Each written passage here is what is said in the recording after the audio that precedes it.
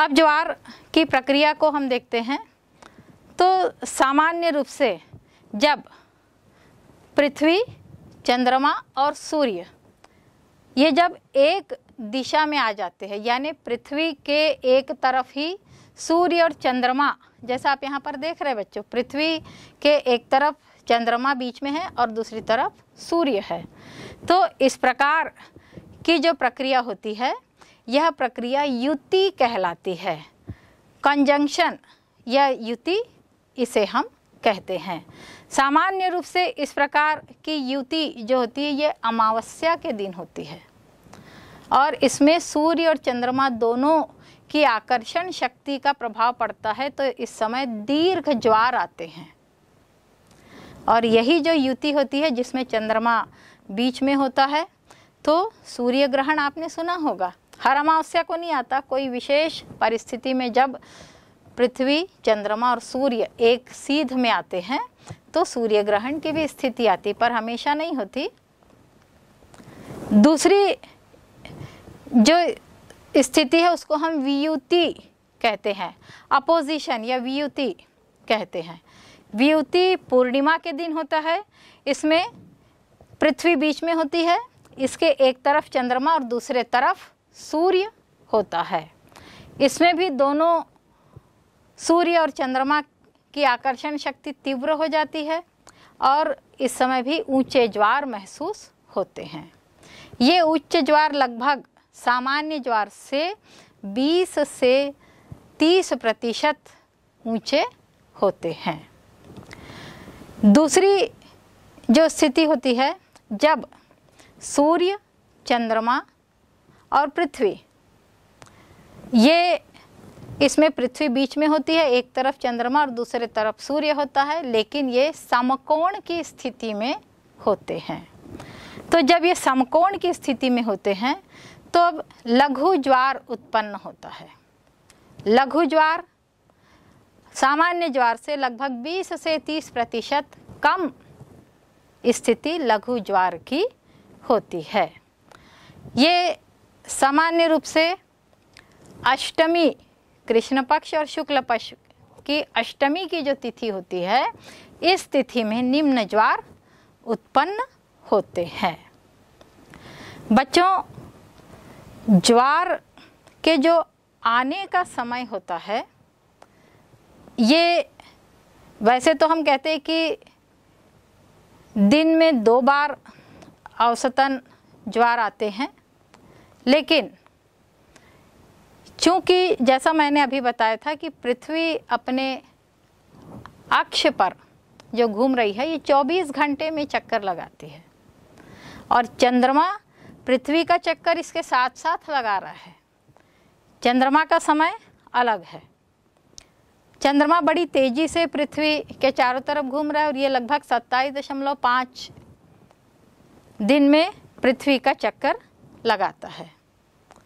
तो इस प्रकार से आप यहाँ पर देख सकते हैं कि जिस, पहले मान लीजिए ये जो बिंदु है, यहाँ से पृथ्वी घूम रही है। कोई भी तट, आप मान लीजिए कि एक गुजरात का तट है, और इस तट से पृथ्वी, ये चंद्रमा के समक्ष है, और पृथ्वी अब यहाँ से घूम रही है। उस समय यहाँ पर ज्वार की स्थिति थी। लेकिन जब पृथ्वी पूरी घूम करके 24 घंटे में जब उसी बिंदु पर आती है तो चंद्रमा थोड़ा सा आगे सरक गया होता है। कितना आगे सरक गया होता है? वहाँ तक पृथ्वी को पहुँचने में, चंद्रमा की सीध में वह क्षेत्र आने में लगभग बावन मिनट का समय अधिक लगता है। अर्थात ज्वार जो आते, ये पूरे बारह, चौबीस घंटे में पूरे नहीं आते। बल्कि एक ही स्थान पर जो 24 घंटे में जो दूसरा ज्वार आता है, वो पूरा 24 घंटा नहीं, बल्कि 24 घंटे और बावन मिनट की अवधि लेता है। इसमें जो पृथ्वी के, जो बावन मिनट पूरा सरकने के बाद पृथ्वी जब चंद्रमा के निकट पहुँच रही है, अर्थात हम ज्वार आने के समय को इस प्रकार समझ सकते हैं, जिसमें हम 24 गुणा साठ गुणा दो बटे पचपन। ये दो बटे पचपन क्या है? जब पृथ्वी पूरा 24 घंटे में अपना एक चक्कर पूरा करती है और चंद्रमा उतने समय में थोड़ा सा आगे, यानी यदि चंद्रमा का पूरा चक्र को 55 हिस्से में बांट दिया जाए तो वो दो हिस्सा आगे सरक चुका है। दो बटे पचपन हिस्सा आगे सरक चुका है। इसलिए इस सूत्र के माध्यम से हम ज्वार का आकलन करते हैं तो बावन मिनट लगभग अधिक लगते हैं, दो चौबीस घंटे में आने वाले दो ज्वार के बीच में।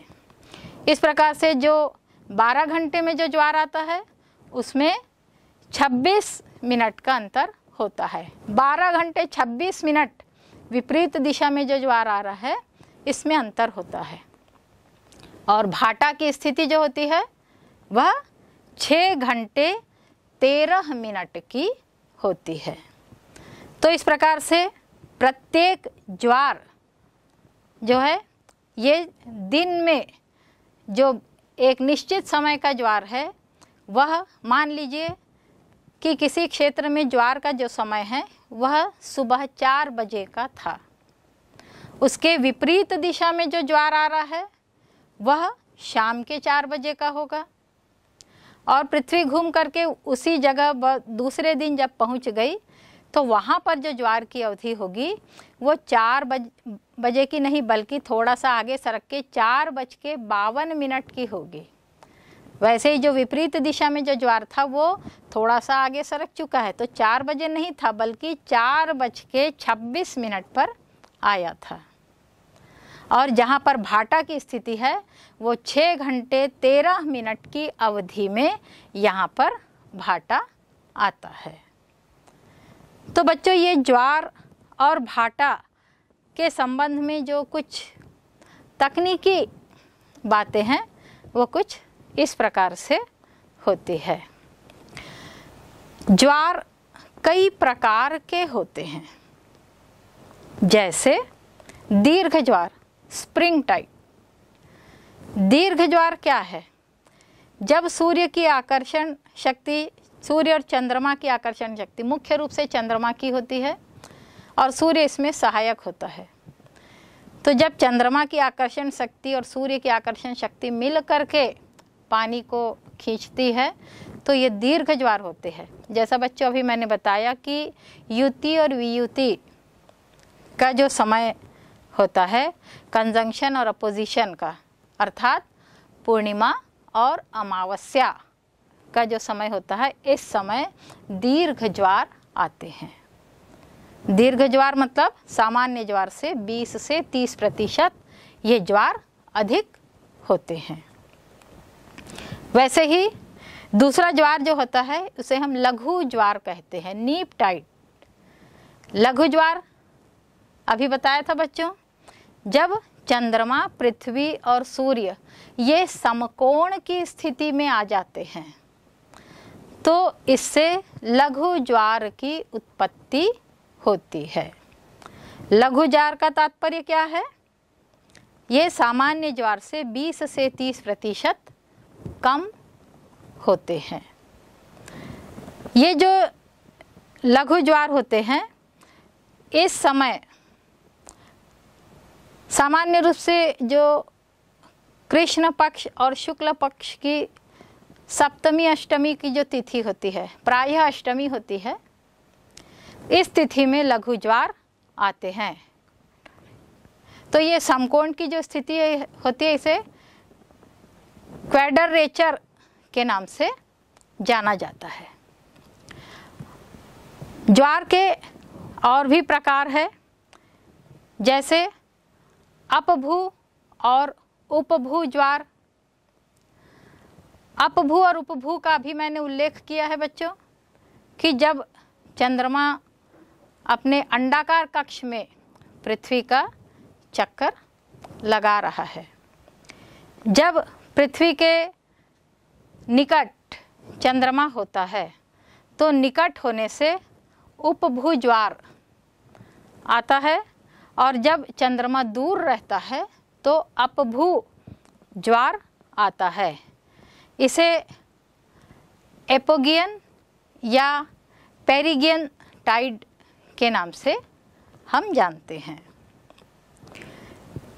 तीसरा जो ज्वार का प्रकार है, अगला, ये होता है अयन वृत्तीय ज्वार या भूमध्य रेखीय ज्वार इसे कहते हैं।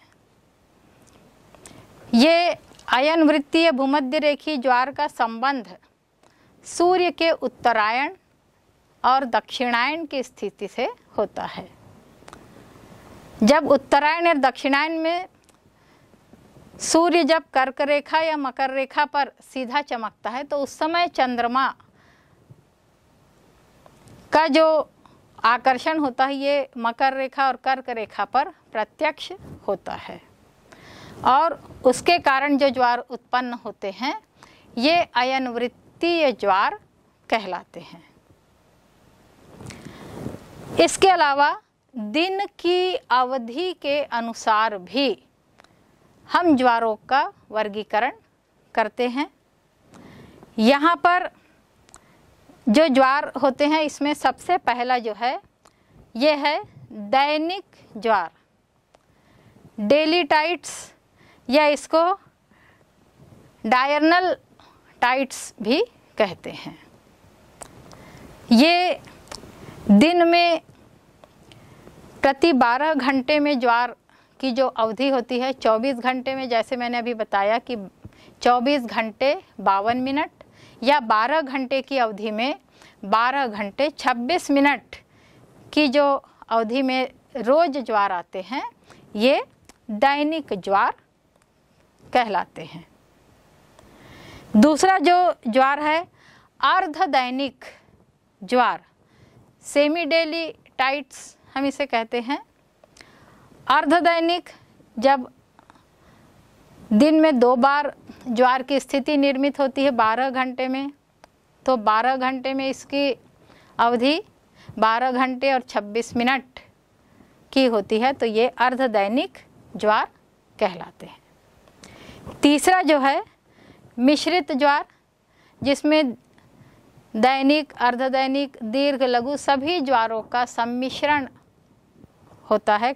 कोई भी ज्वार आते हैं तो इस प्रकार के ज्वार को मिश्रित ज्वार कहते हैं। बच्चों, ये ज्वार के बारे में आपने कुछ बातें सुनी हैं।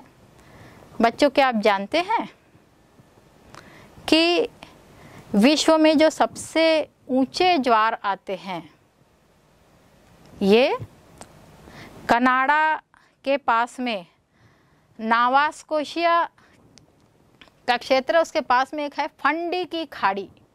आप यहाँ पर देख सकते हैं, बच्चों, चित्र में फंडी की खाड़ी। इस खाड़ी में विश्व के सबसे ऊँचे ज्वार आते हैं। दिन में चार बार, दो दीर्घ और दो लघु ज्वार यहाँ पर आते हैं। इस ज्वार का जो समय है, वो दिन में चार बार आते हैं तो हर छः घंटे में पानी के चढ़ने और उतरने की क्रिया यहाँ पर निरंतर जारी है। बच्चों, यहाँ पर जो ज्वार आते हैं, इसमें ज्वारी तरंगे जो है, ये 15 से 16 मीटर तक ऊपर उठती है। अर्थात प्रति घंटे यदि हम इसके ऊपर उठने की गति देखें तो लगभग 2.4 से 2.5 मीटर की गति से यह ऊपर उठती है। तो ये विश्व का सबसे महत्वपूर्ण ज्वार का क्षेत्र है। लेकिन विश्व का सबसे छोटा ज्वार, सबसे निचला ज्वार का जो क्षेत्र है, ये भारत का जो पश्चिमी तट है, यहाँ पर गुजरात में ओखा तट, आप देख सकते बच्चे हैं चित्र में, ओखा तट, यहाँ पर सबसे छोटा ज्वार आता है। इसकी सामान्य ऊंचाई तीन से चार मीटर तक ही होती है। तो बच्चों, ये तो ज्वार के कुछ उदाहरण मैंने आपको बताया आपको पता होगा कि ज्वार हमारे जीवन के लिए बहुत महत्वपूर्ण है। मानव जीवन के लिए, मानवीय क्रियाओं के लिए इसका महत्व बहुत अधिक है।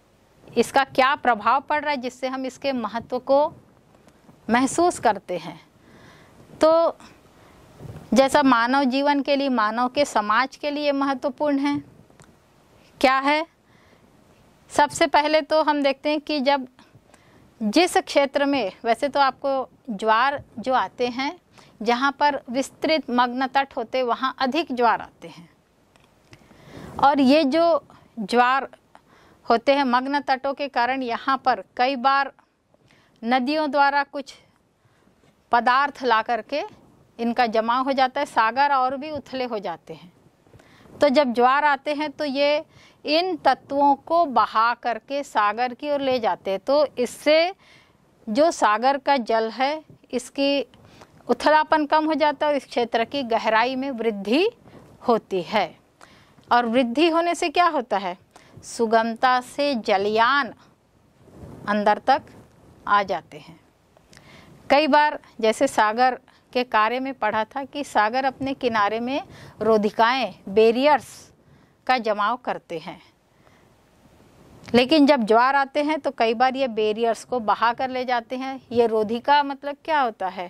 ये जहाज़ों के मार्ग में भी अवरोध उत्पन्न करे जहाज़ों को आने से रोकती है। लेकिन जब ज्वार आते हैं तो ज्वार की लहरें, तरंगे इनको पीछे ले जाती है और रोधिकाएँ नष्ट हो जाने से जहाज़ आसानी से अंदर तक आते हैं। फिर नदी या खाड़ी में नदियों के द्वारा लाए गए जो तलछट होते हैं, इसका भी बहुत अधिक जमाव होता है। बहुत से अवशिष्ट पदार्थ इस क्षेत्र में जम जाते हैं। तो ज्वार इन पदार्थों को भी हटा करके मार्ग को साफ़ करते हैं या मार्ग को सुलभ बनाते हैं। कई प्रकार के पंख भी इस क्षेत्र में जमते हैं। तो ये पंख भी ज्वार के माध्यम से सागर की तरफ़ ढकेल दिए जाते हैं। बच्चों, ज्वार के कारण जो तट रेखा में समोच्च रेखाएँ जो बनती है, ये समोच्च रेखाएँ भी निरंतर परिवर्तित होती रहती है। इसके अलावा, अब ज्वार का कुछ आर्थिक महत्व भी हम जाने। ज्वार का आर्थिक महत्व भी जाने तो बहुत से ऐसे देश हैं जिन्होंने इस ज्वारीय तरंग को विद्युत के रूप में परिवर्तित किया है। तो ये देश मुख्य रूप से संयुक्त राज्य America, France, Germany, Italy, United Kingdom, Canada, रूस, चीन आदि हैं। ये जो देश है, ये ज्वारीय तरंगों से विद्युत उत्पादन की प्रक्रिया कर रहे हैं। बच्चों, क्या आप जानते हैं कि प्रथम ज्वार शक्ति से विद्युत उत्पादन के लिए जो स्टेशन बना था सन 1966 में, फ्रांस में ये पहला स्टेशन बना था जिससे विद्युत उत्पादन किया जाता है। अब तो भारत में भी जो पश्चिम बंगाल में सुंदरबन के क्षेत्र में दुर्गा दुआनी एक स्टेशन बना हुआ है और यहाँ से ज्वारीय तरंगों के माध्यम से लगभग तीन मेगावाट विद्युत उत्पन्न किया जाता है। तो बच्चों, ज्वार के बारे में इतना पर्याप्त है।